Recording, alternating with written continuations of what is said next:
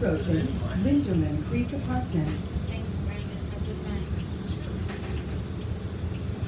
This is Route 14.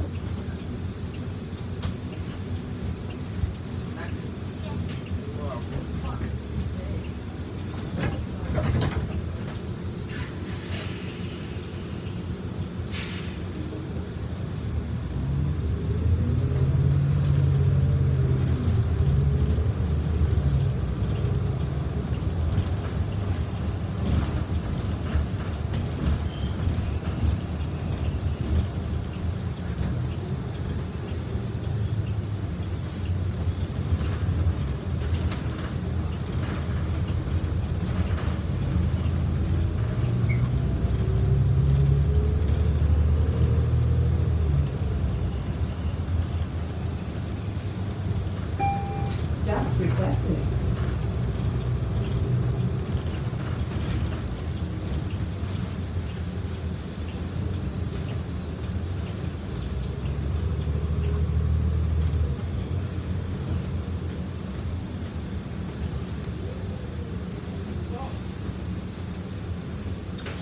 This is Route 14.